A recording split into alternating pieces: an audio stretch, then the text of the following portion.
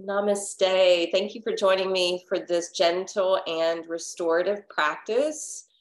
So, um, when I sent my email out this morning, I said, Hey, I'm probably going to be doing more restorative yoga unless you tell me otherwise.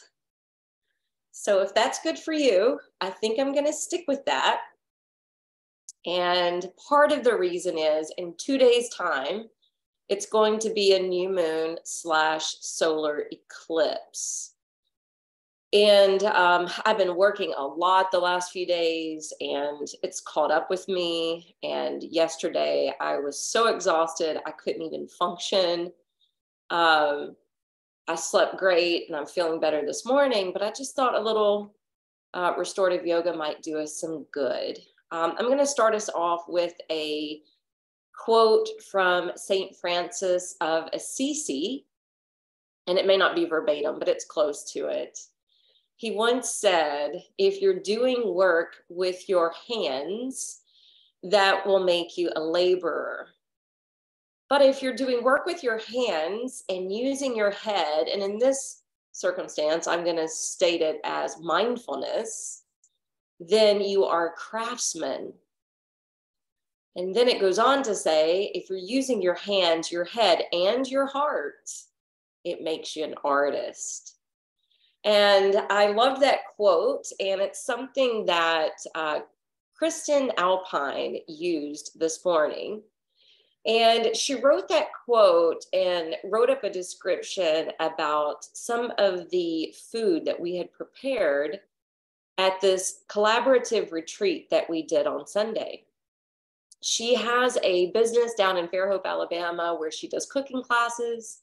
She used to be a nurse and she's always loved to cook. And she started doing cooking classes on the side. And now she's moved full time into that. She has a second property in Lynnville, Tennessee, just south of Columbia. And we designed this retreat where we could go and do yoga outside on the hilltop and we did a shamanic fire ceremony and a shamanic journey. And then we did a cooking class. So when we went into her farmhouse and into her kitchen, she already had a lot of the things kind of prepared for us.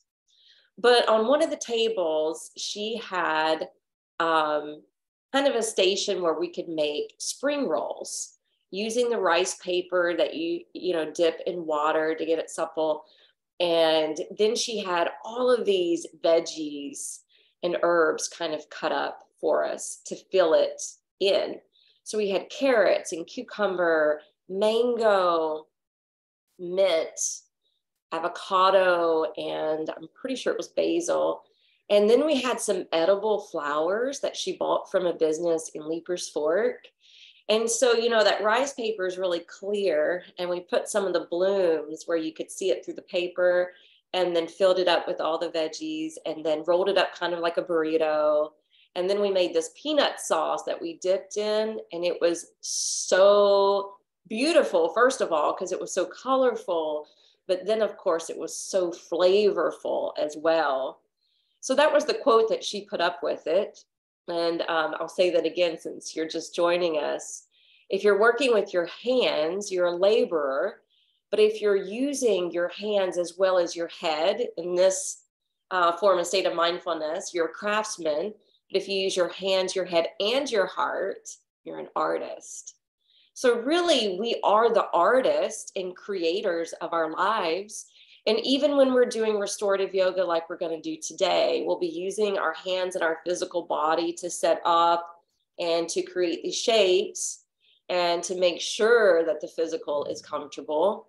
And we'll do this from a state of mindfulness and we'll use our breath work, some affirmations as a way to maintain our mindfulness through the practice. And then, of course, that's also going to be an addition to our heart.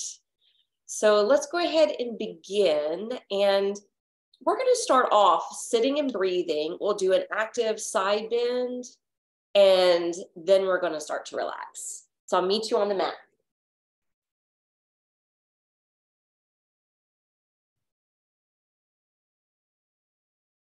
So we'll begin in a comfortable seat. Resting with the palms on the lap. Closing the eyes. Just checking in with our bodies. Noticing how they feel and what we are bringing to the mat with us today.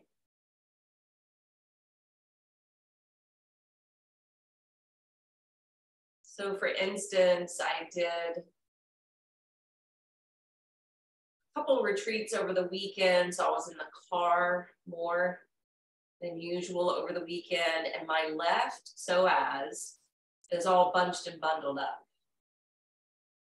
So just kind of do the inner investigative work inside of your body to notice what may be crying for some loving attention.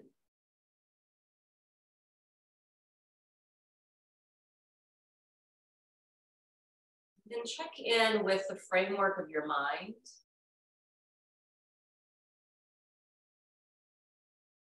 Is it full? Is it stressed?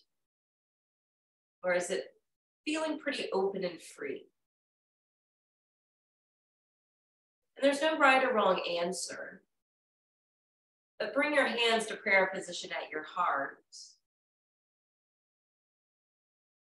Let the palms represent the mind meeting the body. The mind and the body greeting the heart and soul. Let's take a few deep breaths. Encouraging a diaphragmatic breath that's calming to the nervous system. Aiding to our digestive system and can provide a replenishment for the lungs.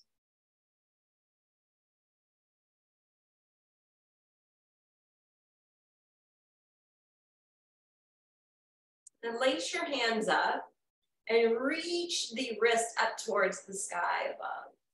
Now, of course, if this is too much for your shoulders or too much for your wrist, you can always just have the arms framing the face like this and the hands separated out.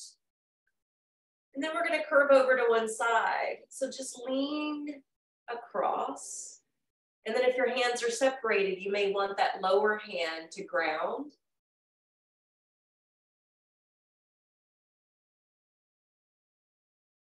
So side bending just helps to open up the breath more. And since we're gonna be a little bit more restorative, we wanna make sure that the breath has clearance. So inhale, come back to the top. Exhale, sway over to the other. Arms alongside your ears. Sits bones resting down. Forming a pattern with your breath.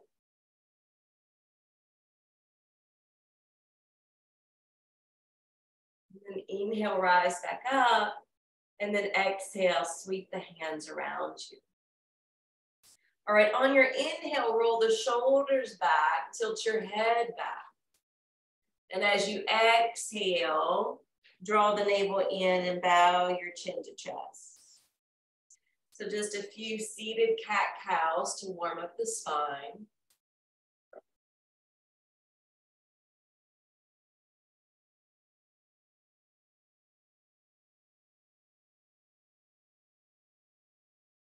Last one.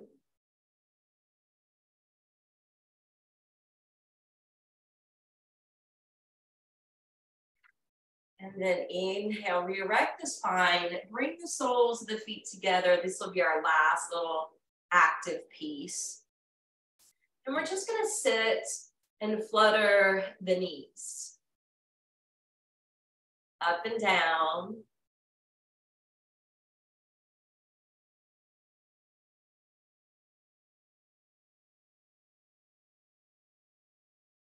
do it for three, two, one, and release.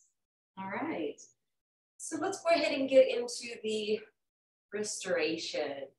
So we're gonna take the blocks and create a slide. So the first couple blocks are standing. Bolster stacked like so. And I'm gonna give you an option today for this one because um, this one can be a little intense, okay? Or it may not be accessible. So when our backs are kind of nestled up against that prop, this is your choice. You could take your right foot alongside your hip and lean back like this.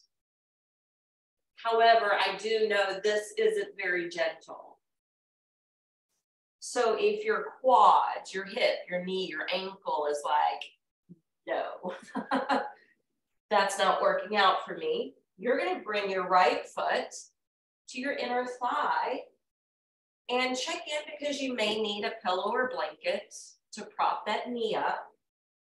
And you're gonna lay back this way instead. If you experiment and maybe you can do both, you can pick one. I would pick the one you feel like you need, or I would pick the one that you can comfortably breathe in, but maybe feel a little bit more sensation kicking in.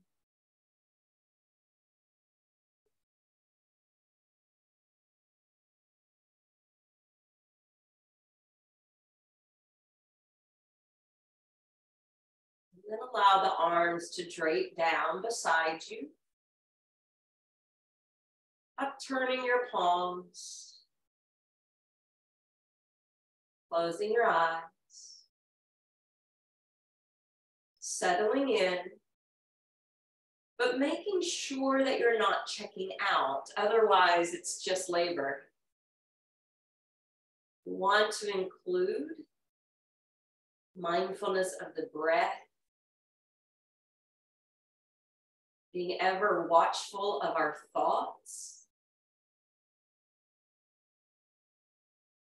paying attention to sensation, or anything else that wants to surface up to our awareness.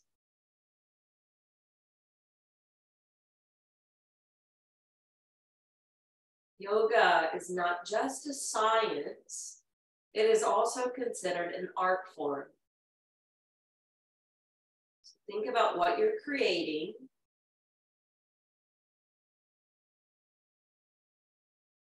Then attempt to breathe your way into a state of internal peace.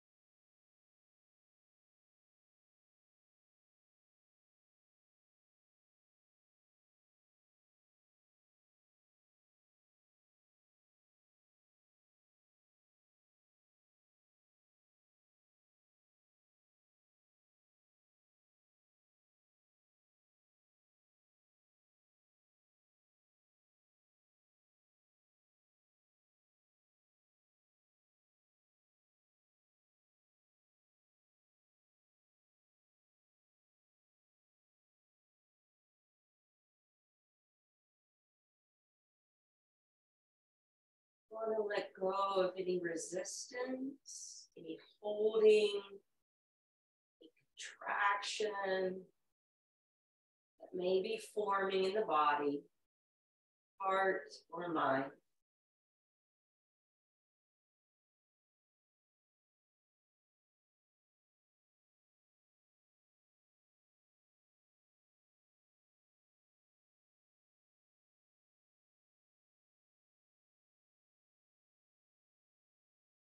Slide the hands closer.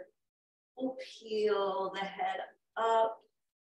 We use the arms in drawing in from the abdomen to lift our way up. Slide the right foot out. And we'll try our hand at the left leg maybe pulling the left foot back.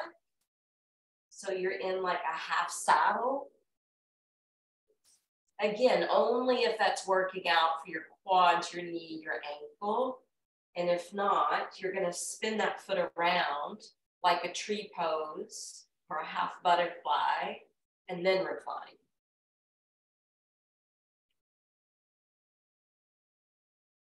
We haven't done this one in a while, so it may feel a little sensitive if you're joining me in that first option. But I noticed when I was laid out on that previous side, I felt resistance at first, but then the more I let go and surrendered into it, that sensation dissolved. My body fully accepted it. And then it felt better at the end. So if it pipes up and you can still breathe, just stick with it for a little bit and it may minimize.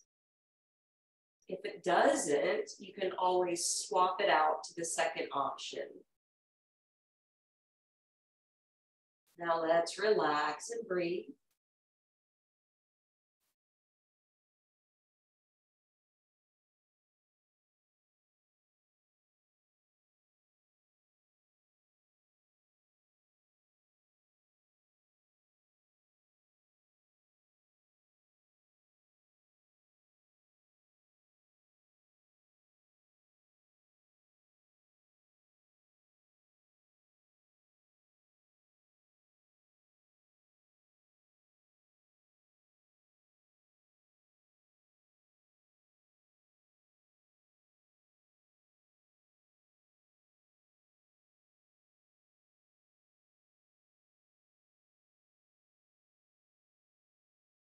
Affirming as you hold, energetic movement or unmoving peace. The choice is mine alone. Energetic movement or unmoving peace. The choice is mine alone. So let's see if we can develop that state of peacefulness the mind, and the body, the heart, the soul.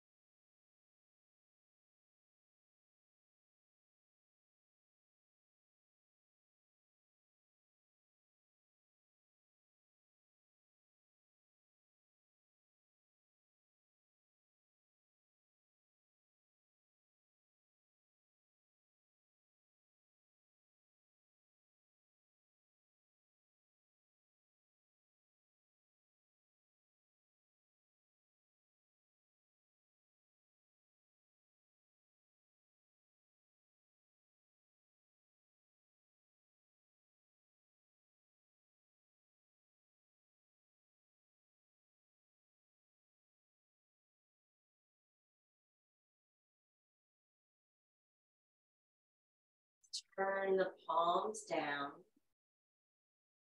Peel the back side of the head up and roll up to a seat.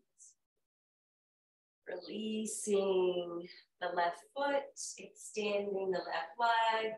You can even bounce the knees.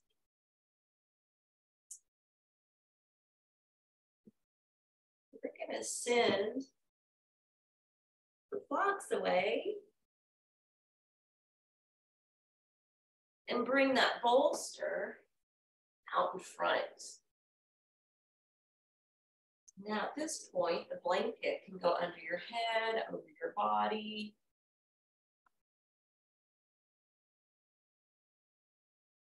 What we're gonna do, and again, I'll give you a couple options.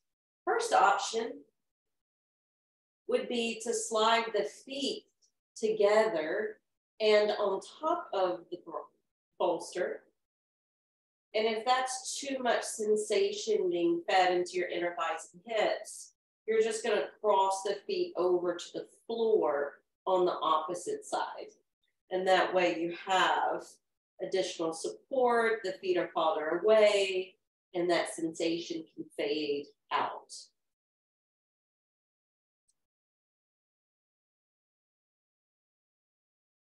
Choose what's better for you today.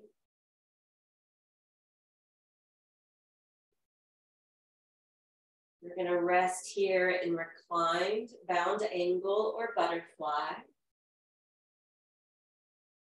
And really, you can take any shape with your arms.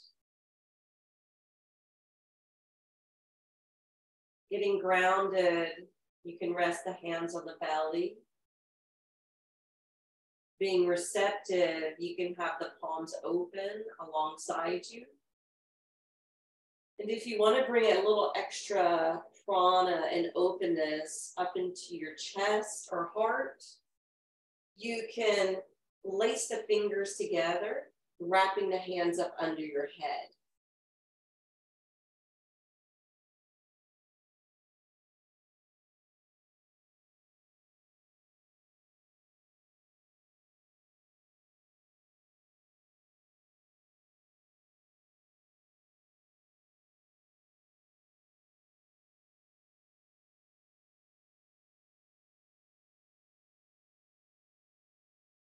I would always take and suggest a few deep breaths. And this is the way we can train ourselves to go within, to stick with our mindfulness, but also more importantly, to enter into the heart.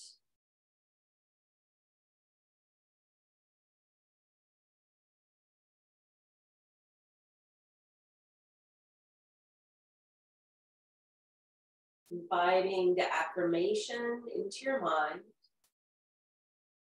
Secure in myself, I accept whatever is.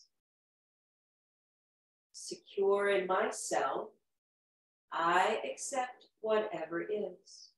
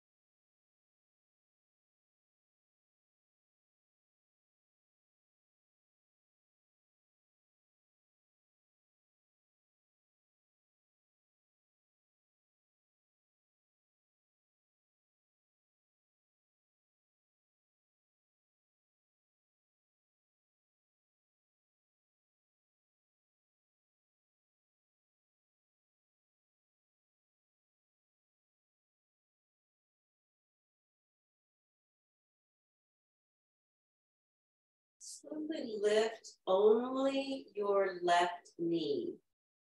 We're going to do kind of a hybrid pose here. Pick up that left foot, clasp your hands around the top of the left shin, keeping your right leg in half butterfly.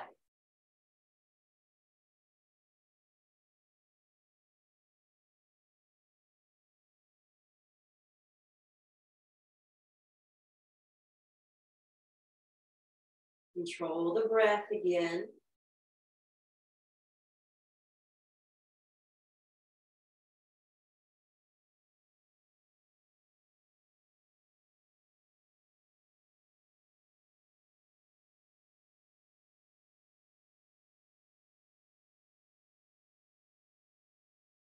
Now let's return the left leg to butterfly and pick up the right knee and then take a hold of the shin.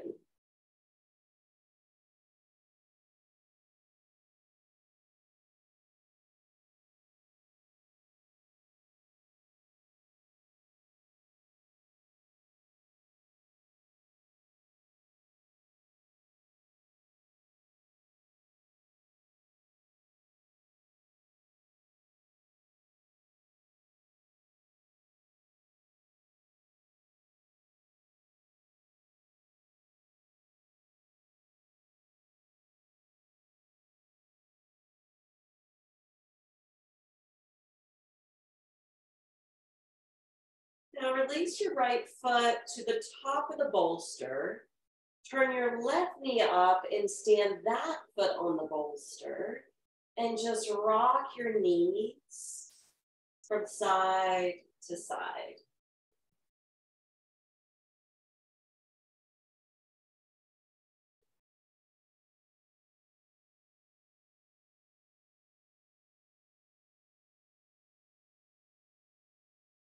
And then let's turn over to the right.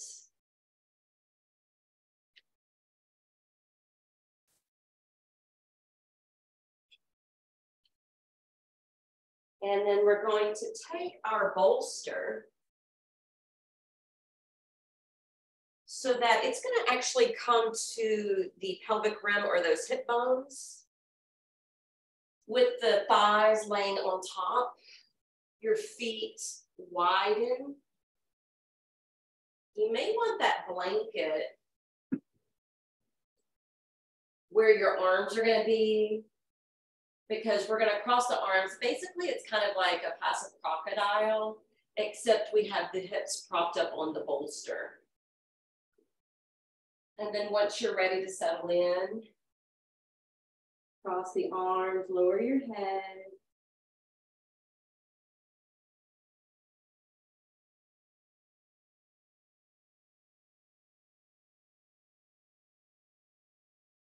Some of you might prefer spreading the arms out in a goalpost shape and flipping to one cheek.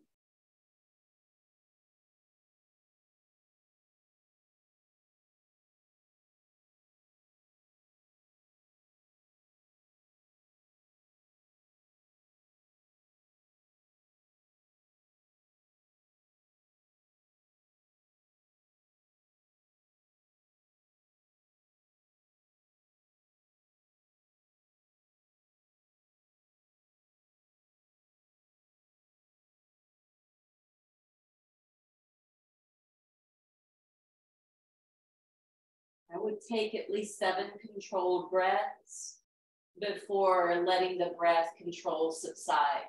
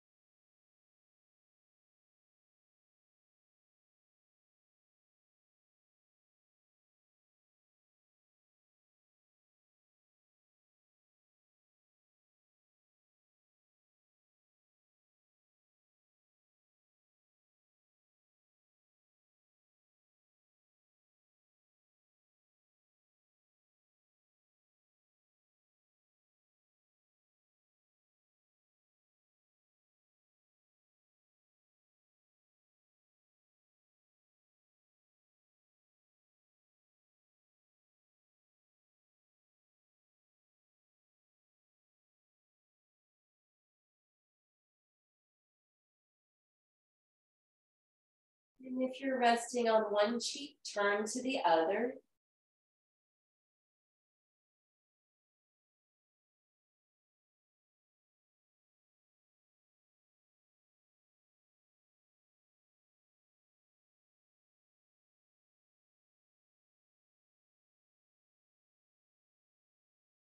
Affirming mentally within, bones, muscles, movement. I surrender now anxiety, elation, depression, any and all turning thoughts, I now give over to the hands of peace.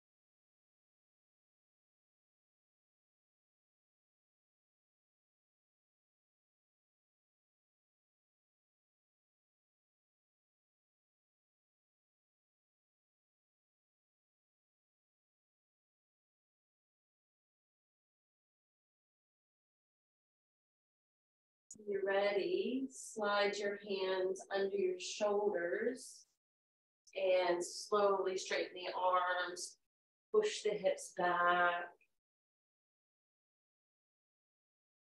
Now, if you by chance have two bolsters, you're going to stack one crossways and then the second one on top long ways. If you don't, but maybe you have one of those uh, rounded kind of like arm roll pillows, you can put that across your mat and the other one on top. And if you don't have two bolsters, you're going to use your blanket. And you can roll it or tri-fold it like that. And then it's like creating a plus sign. All right. You're going to sit on this bottom side after we created the plus sign. And then we'll slowly roll over the edge. And what you want to do is kind of shimmy back so that your shoulders, head, and your neck are actually on the floor. You can keep the knees bent if that's better for the low back, or you can send the legs and straighten them out. So you're going to find that it's very similar to a restorative bridge. We're just setting up the props a little differently today. if you're using the two bolsters like a plus sign instead of a blanket, then it's called a passive cross pose.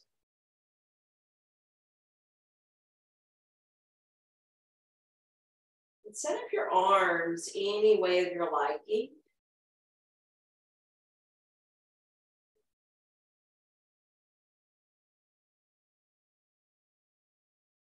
So you may have noticed on that previous pose with the bolster tucked up underneath the legs, it was giving us an opportunity to get a little tiny back bend through the lower area of the spine. Here, we're receiving it more in the mid-back region.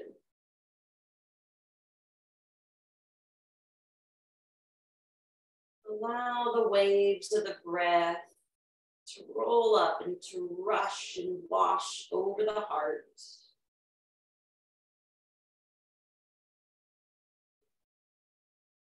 Cleansing and purifying both the mind and heart.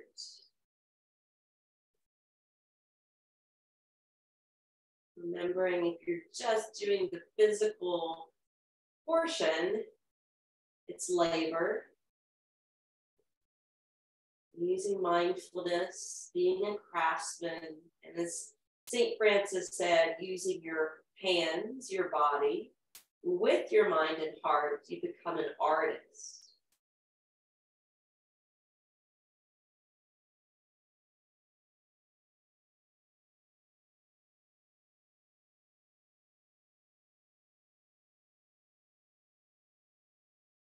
Your eyes closed and gazing into the mind's eye.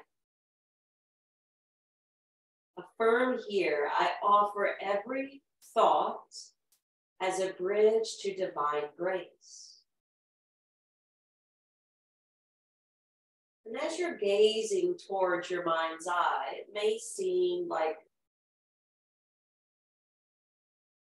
a dark screen just as if you were watching a movie or documentary, I want you to picture in your mind's eye the masterpiece of your own life.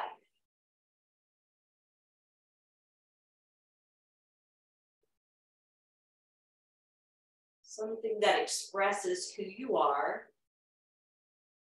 who you've been shaped to be, and who you have become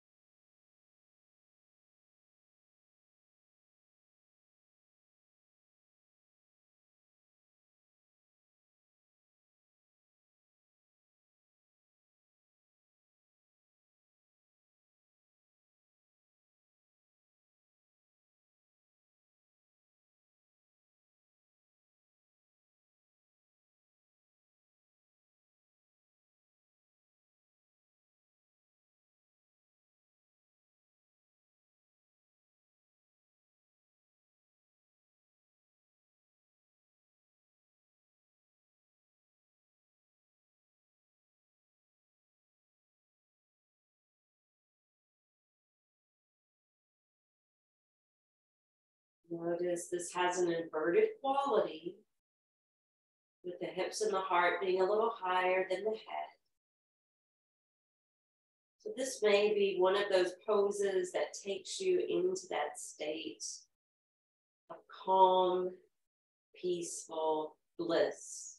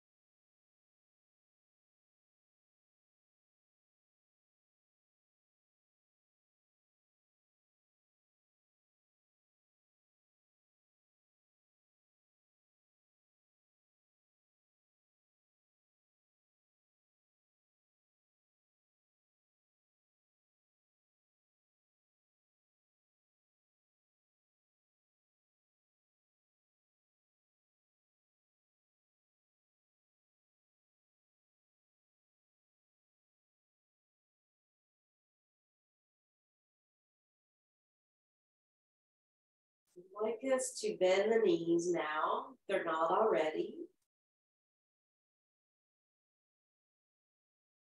And then pick up your left ankle, cross it over the right knee.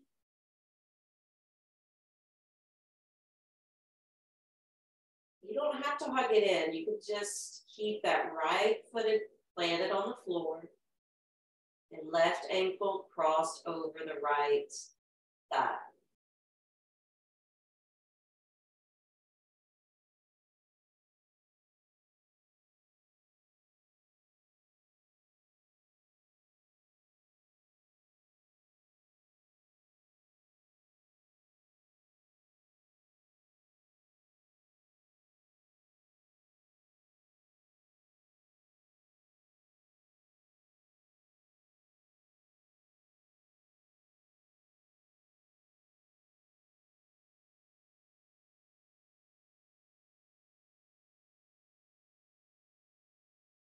Now let's step the left foot down and cross the right ankle over the left knee.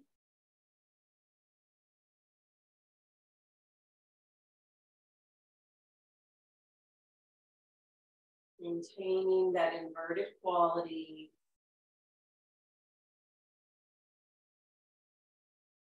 Maintaining the flow of your breath.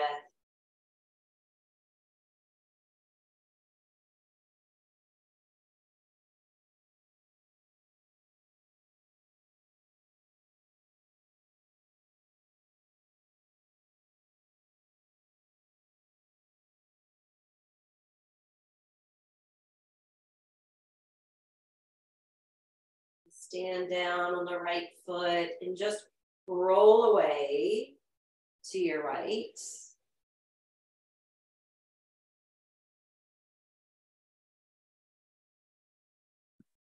Casually come up to sit.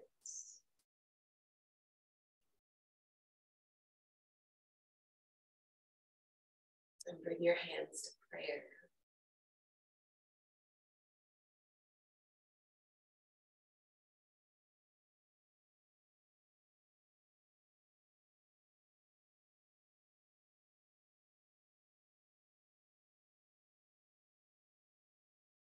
Sitting in quietude.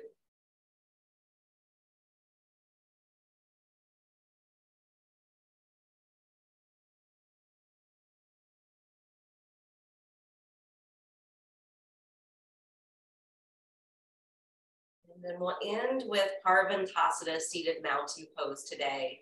So let's lift the hands over the crown, keeping the elbows splayed. Feel free to close your eyes, take a deep breath in. Hold the breath briefly at the top, and then exhale, let it go. Breathing in, retain, and release. Third and final breath here. Deep breath in. Hold at the top. Now breathe it out and away. Firming my thoughts and energy rise up towards the sky.